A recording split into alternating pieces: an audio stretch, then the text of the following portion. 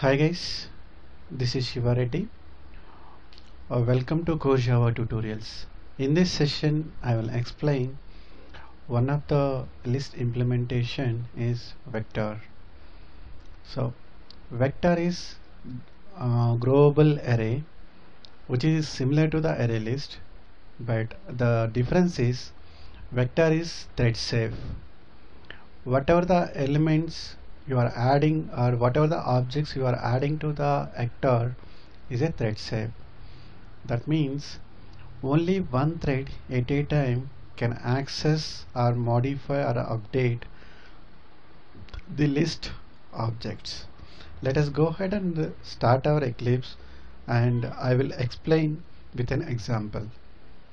Okay let us go ahead create a new class vector demo. I would like to have a main method in this. Click finish. Now I am going to write the class here. So vector vector equal to new vector. So this is in the java.util package. So you need to import package. So first I will explain by adding the string object to the vector. Later I will explain how to work with the user defined objects. So I am adding string objects to this vector dot add vector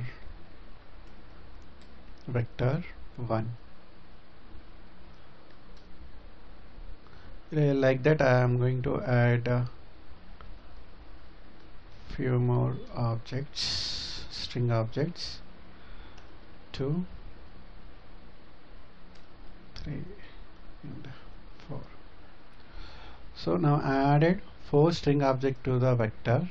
Now I will iterate through this um, vector and I will display whatever the uh, string elements we added to the vector. So in order to iterate through this uh, vector. You need to create a enumeration from the vector. Enumeration equal to vector dot elements. Now you can iterate through the enumeration dot has next elements and uh, system dot out dot println. Enumeration dot um, next element. That's all. So uh, this is very simple program. I added four string object to the vector. I created an enumeration and now I am iterating through the enumeration and displaying the whatever the string object we added to the vector. Now run the java program we will see output vector 1 vector 2 vector 3 vector 4 so in this scenario also it will maintains the insertion order. It is growable array. How many elements you are going to add? In backend automatically the vector size is going to be increased. And next one is it is a thread safe when you are working with the mul uh, multi-threading environment and if you want to restrict only one thread at a time to access our vector or the list then we are going to use this vector. So this is the uh, basic implementation. But in real-time scenarios we don't uh, really use this type of string object adding to the uh, vector. So we always use the user-defined objects. So in order to demonstrate that I already created in my previous session employee class. So in this employee class I have two member variables employee and employee name. I have created one constructor to initialize these two variables. Also I created um, generate, uh, generated the setter and getters method for these two properties. After that I create I created one more method to display employee ID and employee name. So this is a very simple class. Now I am going to add the I am going to create an object using this class and I'll add this object to the vector. Then we are going to iterate using uh, enumeration to display this employee objects. So let us go ahead and start. First we need to create an employee objects so employee objects emp1 equal to new employee. I already created a constructor. So I need to assign some values. I need to initialize values while creating an object.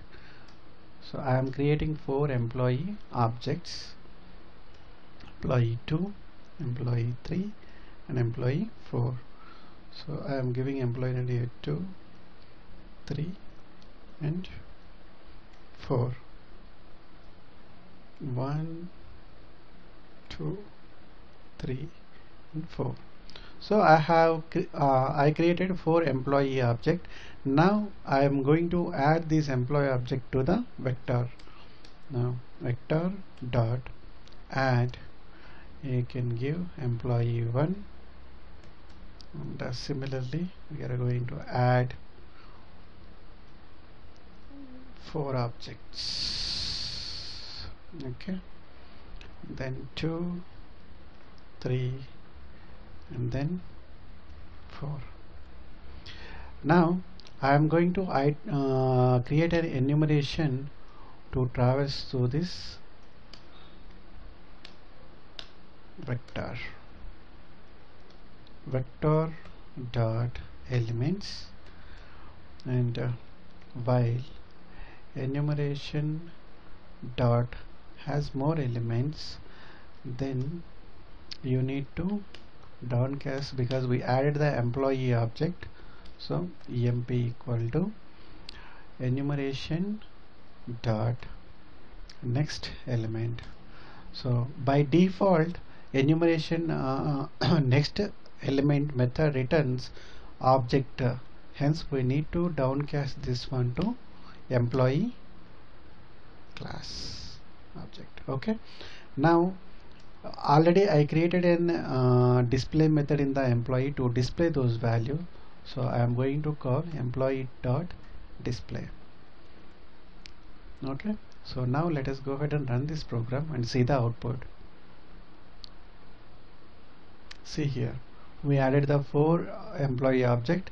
Now it is displaying hope uh, this concept is clear. But in real scenarios uh, while adding element uh, by adding these employee objects to the vector mostly it might be in the database layer where you are going to get uh, employee details or some object details from the database using the select query.